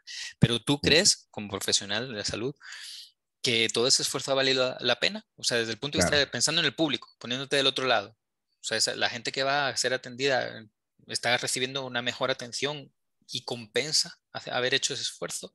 O podríamos seguir en papeles Mm. y, todo bien. Creo, ¿cómo decírselo, ingeniero Valle? Hay ciertas eslabones que hay que derrumbar. Por ejemplo, el factor tiempo. El hecho de cambiar el expediente de papel a digital ha llevado algo de tiempo, sobre todo en los recursos que no manejan muy bien lo que es la tecnología, sin embargo, se están adaptando eso ha hecho que los tiempos de espera de los pacientes sea un poco más prolongado en cuanto a atención se refiere. Ahora, algunos casos eh, particulares, ¿te refieres? Sí, sí, algunos casos. sí, sí, hay algunos casos que sí son complicados, correcto. Entonces, eh, sí, a veces por cuestiones de tiempo, no, no, todas las variables que se solicitan en el expediente electrónico no se logran llenar, pero tal vez algunas de las que son obligatorias llenarlas, pues se hace énfasis y sobre todo que no nos deja pasar, por ejemplo. Un ejemplo claro que Es todo un pleito, es todo un pleito porque, porque las guías clínicas dicen que eso tiene que ser obligatorio. Y ahí la gente a decir, mm, ¿y qué pongo? bueno, pues, quieren que o no, ingeniero, eh, ha forzado a que el mismo personal de salud priorice ese tipo de preguntas y sean énfasis a la hora de interrogar al usuario. Y no solamente así como el expediente en papel, que solo unas cuantas rayitas. Ah, sí, lo que uno quiere.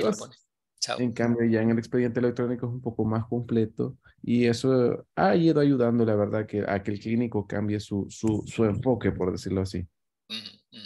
Correcto. Pero sí considero que es rentable la inversión. No, no creo que haya sido por gusto. La verdad, ha sido muy buena la inversión. Yo, yo sí lo creo también. Lo que pasa es que obviamente yo soy informático, entonces eh, tengo cogeo, ¿verdad? sesgo completamente. Para mí las herramientas informáticas pueden ser un, elemento muy, muy bueno para ayudar a la gente y que tengan un mejor servicio. Pero siempre me interesa escucharles a ustedes porque al final de cuentas quienes eh, están al pie del cañón, pues no somos nosotros, nosotros estamos atrás del cañón. Los que están ahí encendiendo la mecha son los que, los que lo usan, ¿verdad? Entonces, eh, es bien importante valorar, hacer valorar, este tipo de valoraciones, sobre todo de cara a, tener mejoras, ¿verdad? Cada cierto tiempo con el, con el, personal y ver hasta qué punto es posible eh, implementarlas, ¿no? Esas mejoras y irlo cambiando.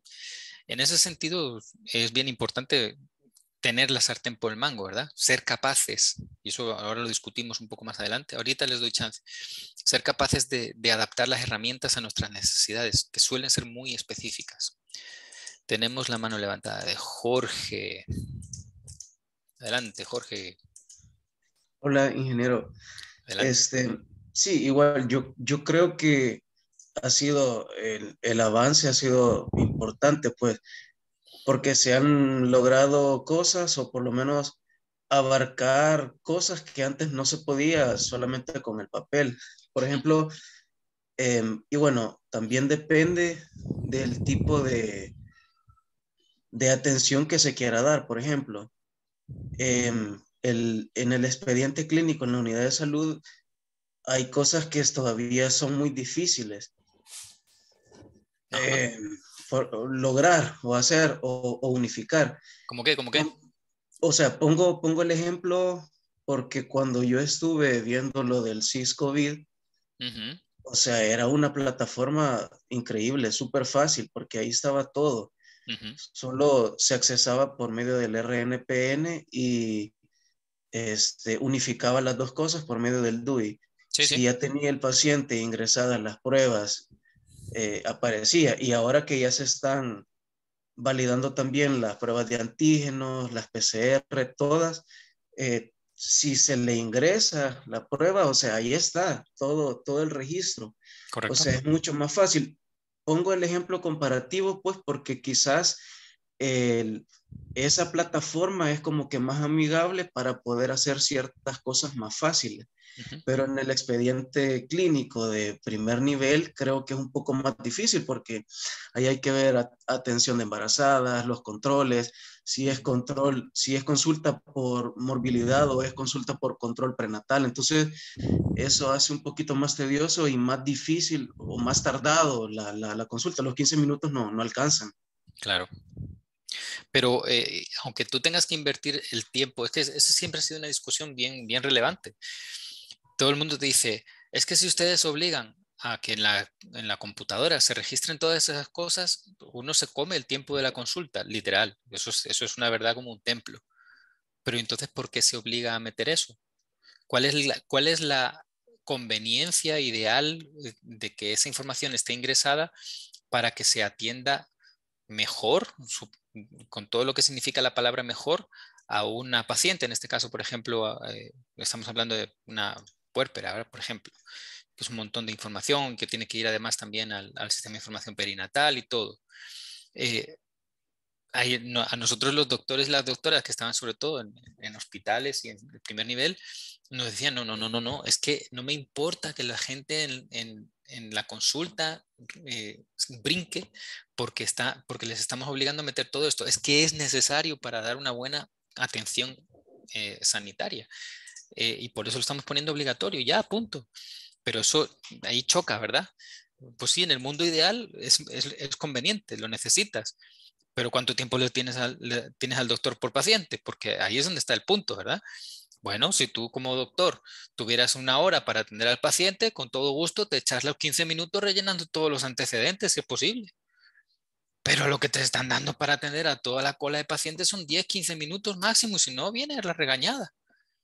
Entonces ahí es donde la cosa eh, eh, se convierte en una especie de, es dialéctico, ¿verdad? El querer ser o el, deber ser con el, con el poder. Definitivamente hay que tomar decisiones que eventualmente son un poquito indigestas. A mí me tocaba parar también el carro en ese sentido decir, no, no, no, no, yo no quiero una herramienta o yo no quiero participar en una herramienta que va a ser eh, correcta, completa, pero inusable, porque la gente me la va a tirar a la cabeza hay que, hay que, hay que tener una especie de, de balance, ¿verdad? Eh, definitivamente, y eso es una de las cosas que, que en Guatemala van a pasar, que todavía no, no, se han enfrentado a ella. Que una cosa es lo que uno ve desde el punto de vista teórico y otra cosa es lo que la gente puede realmente usar ya en la consulta. bien diferente. Y ahí hay que hacer un montón, hasta una reingeniería completa de las aplicaciones. No solo decir, ah, pues este campo lo dejo opcional para que la gente no, no me proteste. No, no, no, no. Es que a veces se trata de hacer de nuevo la aplicación para que sea usable. Verán, eso es terrible. Y a eso se van a enfrentar en este próximo trimestre, en enero. Pero bien, esa es parte de la vida. Muchas gracias por sus aportaciones, ¿verdad? Les agradezco un montón. Eh, sí les quería compartir, vamos a ver si voy a... Ahí les he puesto en el muro también un, un documento bien chivo de la OMS.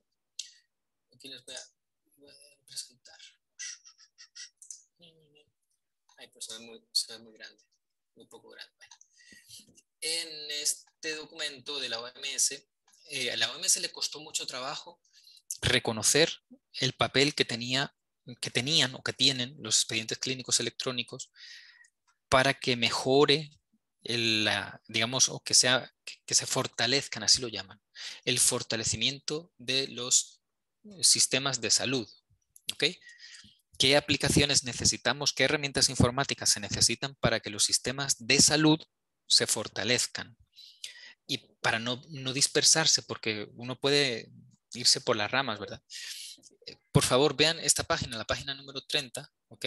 Eh, de este documento que es bastante extenso porque la OMS antes de, tomar el, de dar el paso de meter eh, algo o ponerle un nombre como aquí, Electronic Medical Record, como una de las aplicaciones que es necesaria para poder resolver la falta de acceso a información o a datos o para poder resolver el problema de seguimiento a los pacientes, la OMS se tuvo, tuvo que hacer un gran esfuerzo, yo participé en él, buscando eh, bibliografía, básicamente, eh, eh, revisiones bibliográficas de, de, estudios formales, científicos, en el que demostraran que por el hecho de haber tenido una herramienta informática, se había podido hacer mejor esa labor. Entonces, desde el punto de vista de la rentabilidad, ya hasta los grandes organismos multilaterales que les cuesta un mundo dar este paso, ya lo tienen en cuenta. Muy bien, sigamos, sigamos, porque si no, nos entretenemos un poco. ¿Qué herramientas informáticas hay en, hoy en día para tener expediente clínico electrónico? Quienes trabajan en el Ministerio de Salud tienen una gran ventaja, no tienen que ponerse a pensar qué usar, porque ya se tiene. Ah, pero eso por, qué es así? no se pueden imaginar lo que costó que el ministerio, eh, estamos hablando del año 2010, 2011, decidiera apostar por su propio desarrollo. Eso fue yuca, pero por suerte, por suerte, por suerte, se, coincidieron ahí una serie de factores, se alinearon los astros, ¿verdad? Eh, particularmente en la cabeza del Ministerio de Salud, llamada María Isabel Rodríguez, siguiendo por el viceministro de Políticas de Salud, Eduardo Espinosa, y luego por un montón de gente súper competente en, en, el equipo en el que yo pude colaborar, haciendo ese esfuerzo, desarrollando una herramienta o adaptando las herramientas que ya existían, particularmente en este caso el CIAP, que como les digo, tenía una, una historia previa en el Hospital Rosales y que se empezó y se, se, mejoró con un poquito de dinero que sacaron de, de un proyecto que se llamaba RESA, por la reconstrucción de hospitales. ¿Se acuerdan? De cuando se destruyeron los Zacatecoluca, San Rafa. De ahí, un poquito de dinerito, un pequeñito, sirvió para contratar a tres analistas programadores en el Hospital Rosales, que desarrollaron otros modulitos del CIAP. Ese esfuerzo, esa herramientilla germinal, por decirlo así, fue la que sirvió de base de lo que hoy se conoce como SIS. ¿ok? Ya muchos años han pasado. Pero si no se tiene eso, qué herramientas hay, porque hay un montón, ¿ok? Privativas, o sea, de comerciales, por decirlo así, que uno cobra, uno, uno, paga una suscripción o la compra y te la instalan o lo que sea, hay muchas. Y ahí no me interesa mucho meterme porque uno solo pone expediente clínico electrónico price en, en Google y salen las libres buenas, porque también hay una variedad importante, son estas tres que les estoy mostrando. ¿Ok? GNU Health, OpenMRS y OpenMR. Como todas ellas tienen, como les comentaba, eh, esa mismo, eh, digamos, fuente de, datos, ¿verdad? O de, origen. Suelen ser RPs adaptados al mundo de la salud. y por tanto todavía tienen ese sesgo un poquito, ¿verdad? De que tienen ahí toda la parte de planilleo, de inventario y todo lo demás. Pero son buenas, son muy buenas, la verdad. Eh, cuesta un poquito a veces implementarlas y trabajar con ellas, pero, pero la verdad es que funcionan muy bien.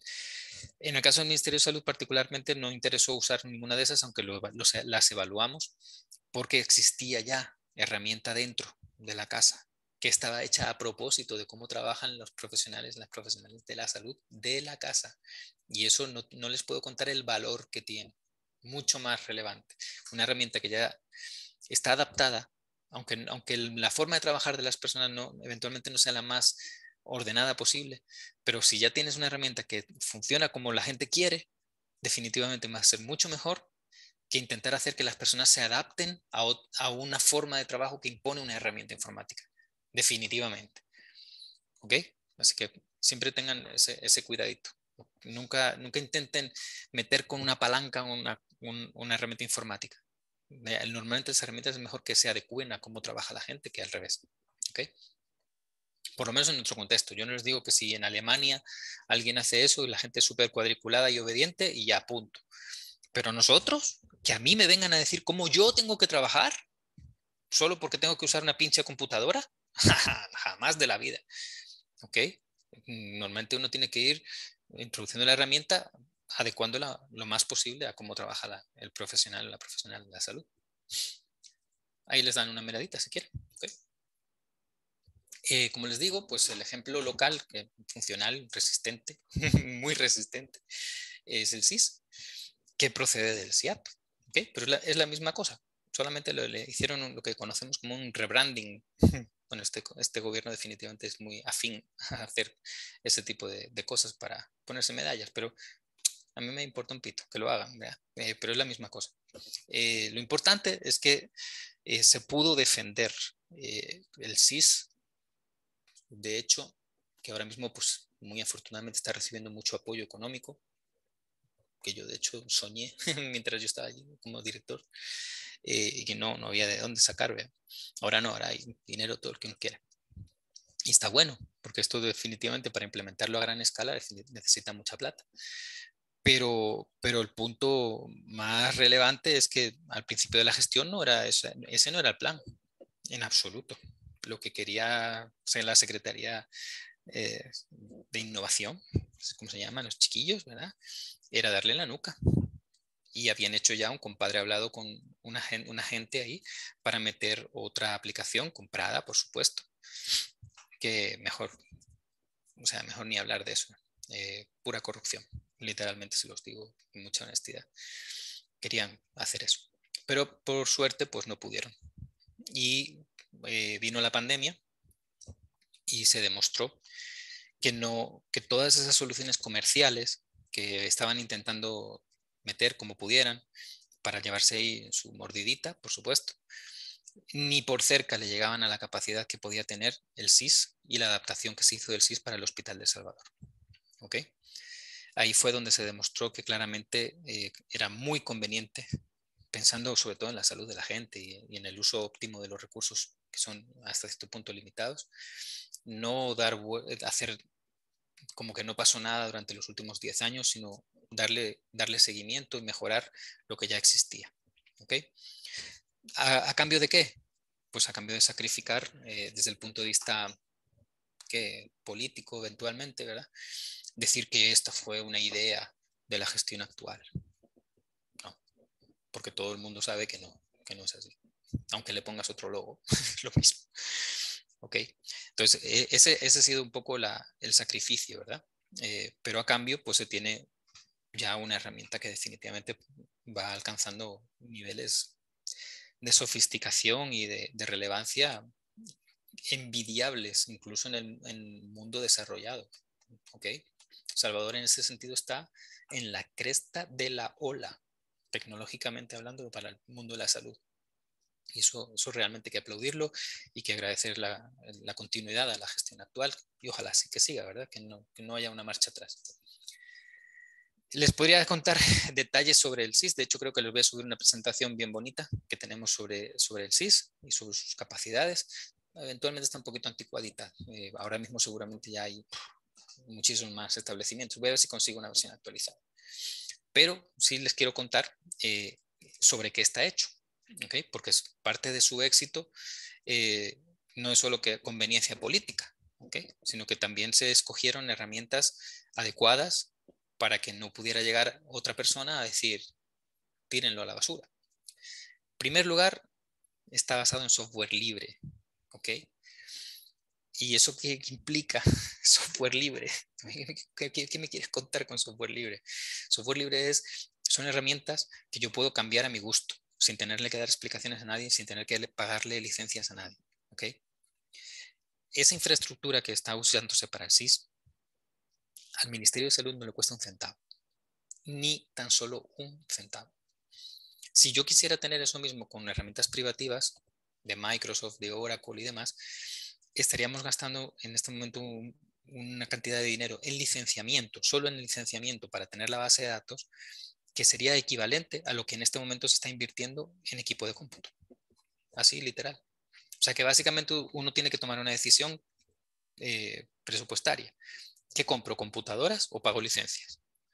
Ah, bueno, no, pero eh, paguemos licencias y compremos computadoras, sí, pues entonces reduzcamos el alcance si yo quiero implementar el expediente eh, clínico, electrónico en 100 establecimientos del primer nivel de atención este año y tengo que pagar licenciamiento de la base de datos, chao pescado, ese alcance no, no, le llega.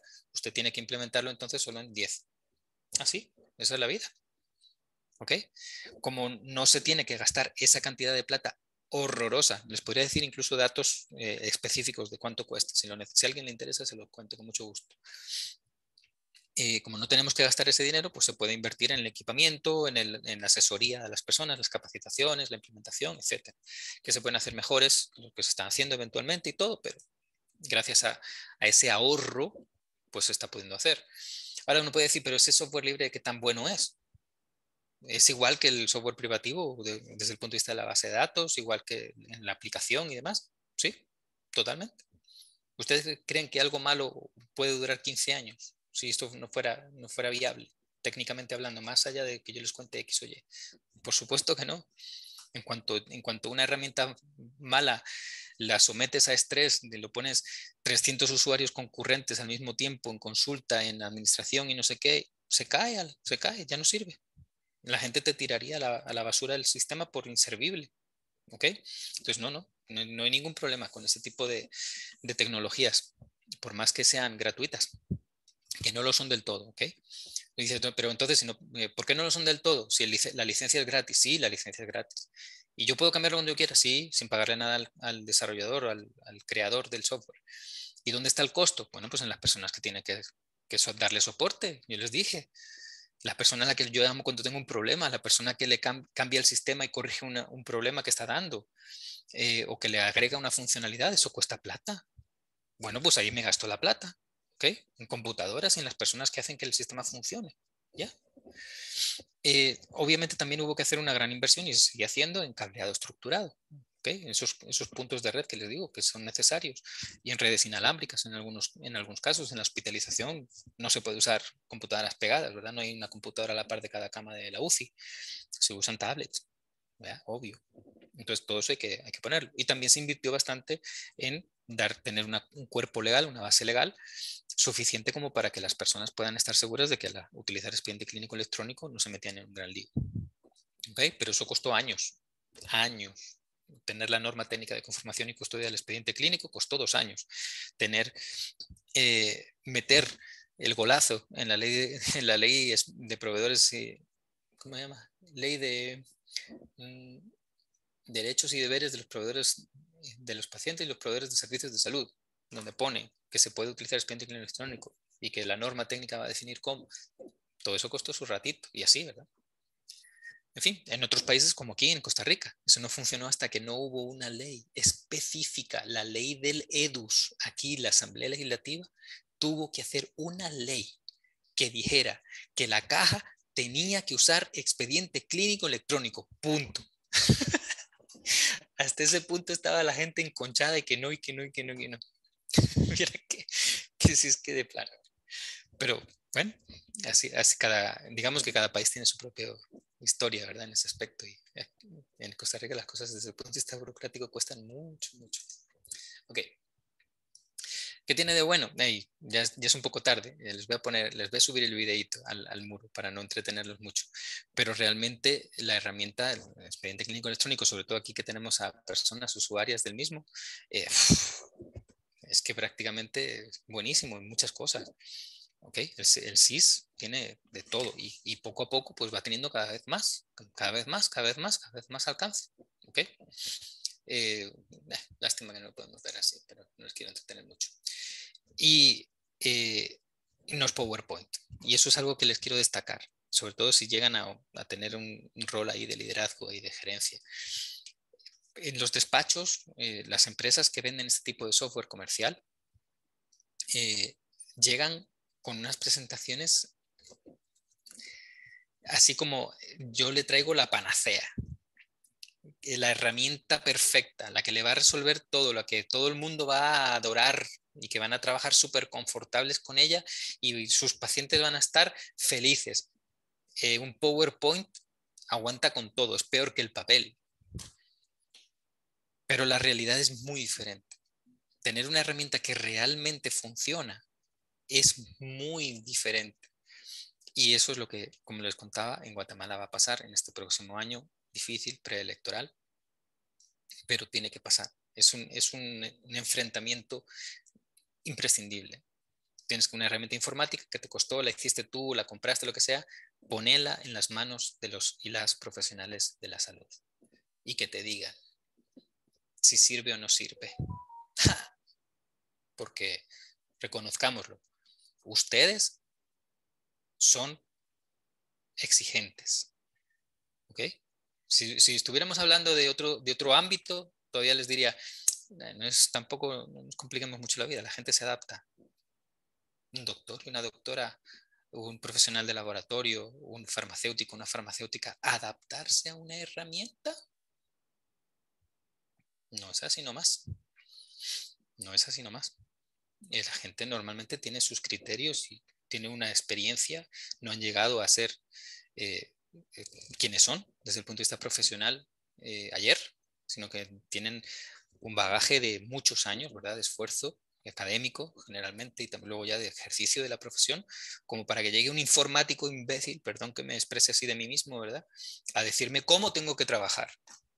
Jamás de los jamases. No. Y de hecho, de hecho es algo que, les, sí quiero comentarles. Normalmente, las mejores personas para poder eh, demostrar y, y, hacer que, se propague el beneficio de utilizar este tipo de herramientas cuando ya son buenas, son los mismos profesionales de la salud. Es como que me llegue a mí, ustedes, ¿verdad? Me llega usted, un doctor, una doctora, a decirme, mira, ese sistema operativo que usas es pura basura, quítalo, instalarle otra cosa. Yo te voy a decir, ¿cómo? ¿Usted me va a decir a mí qué es lo que yo tengo que usar en mi computadora? disculpe, pero no, ¿verdad? Pues es lo mismo que yo le llegue a usted a decir cómo tiene usted que atender a su paciente.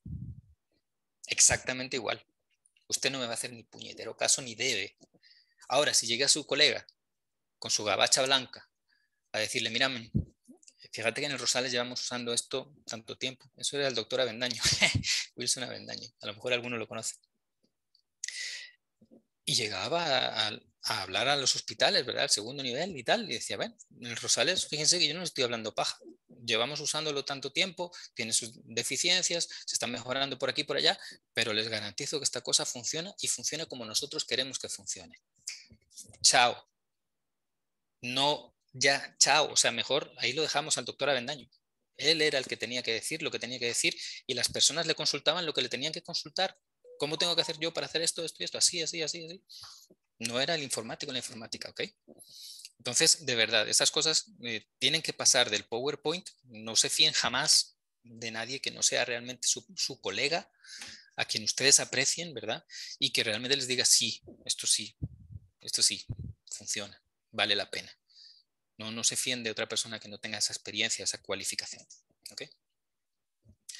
Terminamos con unas lecciones aprendidas sobre este particular realmente el tema de usar software libre vale la pena sopesarlo. A mi, modo de ver y por esta experiencia particularmente en El Salvador, definitivamente si queremos algo sostenible y poder enfocar los pocos recursos que vamos teniendo de inversión o de presupuesto, definitivamente no, no podemos tener algo que requiera una cantidad de plata exorbitante.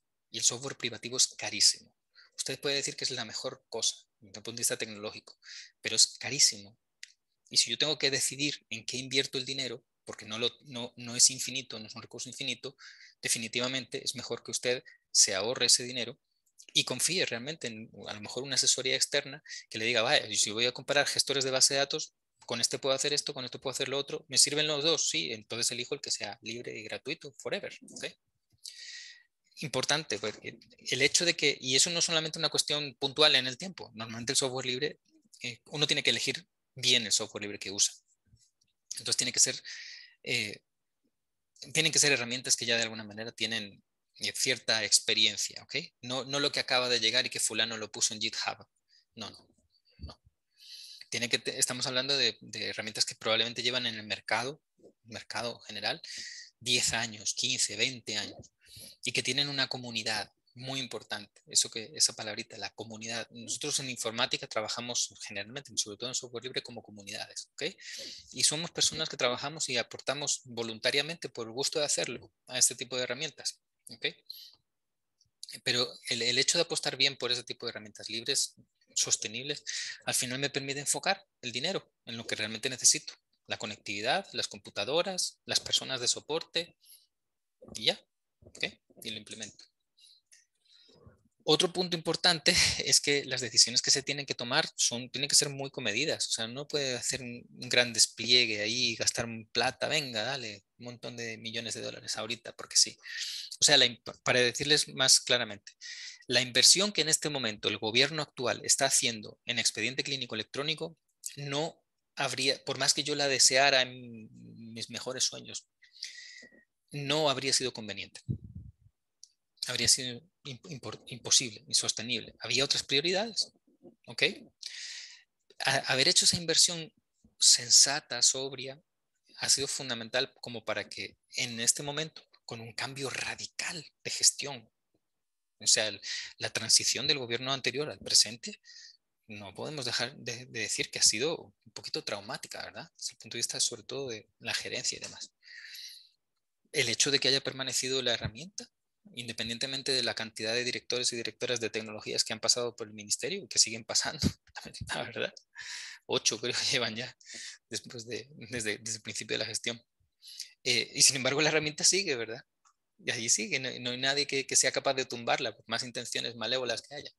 Eh, así, así es consecuencia de haber tomado ese tipo de decisiones bien prudentes. Eh, otra cosa muy importante, sobre todo en términos tecnológicos, usar software privativo particularmente tiene un problema de obsolescencia programada. ¿Ok? Si ustedes seguramente todos usan Windows. Eh, y acá, no, qué bueno, eh, bueno, hay gente que usa Mac y yo que uso Linux. Eh, muchas veces uno se encuentra con que a los 5 o 10 años de la computadora ya, bueno, que 5 o 10 años, si uno usa Windows, generalmente al, año de los dos años, esa cosa ya está inusable, papá solo para arrancar la computadora se puede tardar un siglo. Para apagar la computadora que apague. es, como de, bueno, me voy al baño y ya revuelvo. Eh, es insostenible en alguna medida, ¿verdad? Tienes que estar reinstalándolos todo el rato y eso.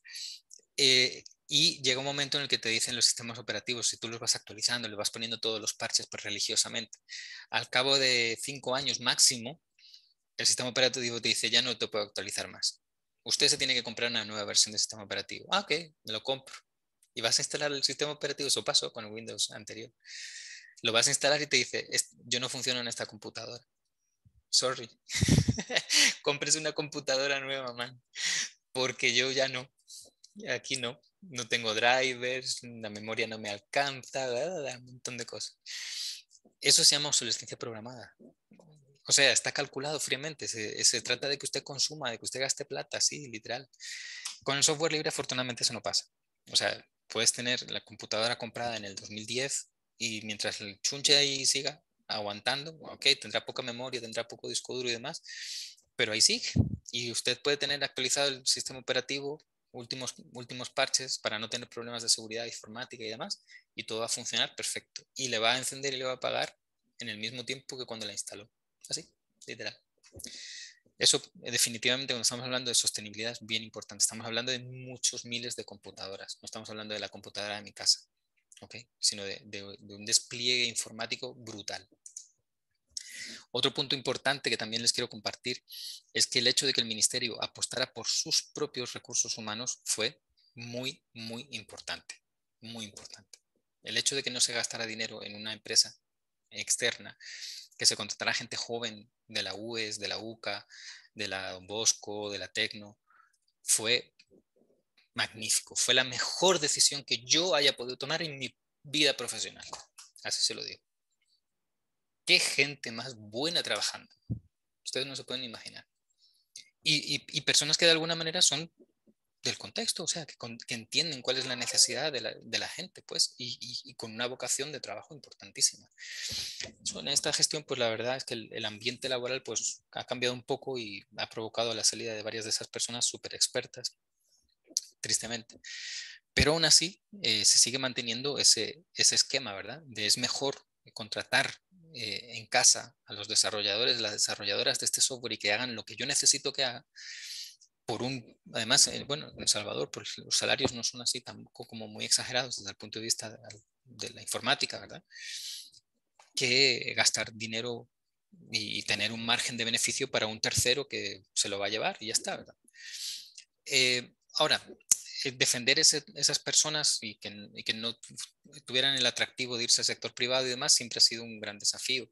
En este momento no sé cómo están las cosas. A mí me costaba mucho, sobre todo en, la segunda gestión, hacer comprender, y no lo logré, a la ministra anterior, eh, que, que las personas había que pagarles lo justo. Y no, no lo entendía. No lo aceptaban, tenía había todo tipo de adversidades y fue, fue terrible, fue un ambiente horroroso en ese sentido. Pero bueno, si el ambiente es propicio, pues la cosa puede, puede funcionar de esa manera. En otros contextos, como les pongo ahí, pues a lo mejor esa no es la mejor opción. ¿Sí? En otros contextos quizá eh, es, más fácil tercerizar ese servicio de desarrollo. Pero a mi modo de ver, eh, por lo menos en nuestros contextos centroamericanos, definitivamente es mejor tener ese poder en casa y yo poder cambiar las cosas cuando yo quiera eh, y adaptarlos a cualquier necesidad inmediatamente sin tener que ver si tengo pisto o no tengo pisto. Y el punto final, pues es que al final, como les decía, ¿verdad? Esto es un gasto permanente, no, no hay manera de evitarlo. ¿Hasta qué punto en fondo general, en el presupuesto de la institución, se tiene garantizado eh, el dinero para poder darle seguimiento a este, a este esfuerzo? Eh, definitivamente, mm, eso es un gran desafío. Yo no sé cómo lo están haciendo actualmente, no lo sé, honestamente. Me da la impresión de que siguen dependiéndose mucho de fondos externos. Pero en la medida que eso es incorporado y se convierte en una herramienta en la columna vertebral del trabajo de los profesionales de la salud, pues entonces tiene que ser sostenida por el Fondo General. ¿Ok? Pero por lo menos en mis tiempos lo que hacía el Ministerio de Hacienda era pegarle el machetazo. O sea, el presupuesto cero y al final hacía lo que, hacía la, la, UFI, la Unidad Financiera Institucional, era sacar de otros lados para pagar la conectividad, por ejemplo. Hasta ese punto llegamos de estupidez, que nos quitaron el presupuesto por completo de todo. Y entonces, ¿y cómo vamos a pagar la red, internet y todo? Yo le dije eso al jefe UFI por, escrito, obvio, por un oficio. Y dije, bueno, cuando llegue la corte de cuentas y se nos caiga el internet, aquí está, presupuesto cero. Y entonces me respondió, ahí sí, ahí no se preocupe, y vamos a ver dónde sacamos.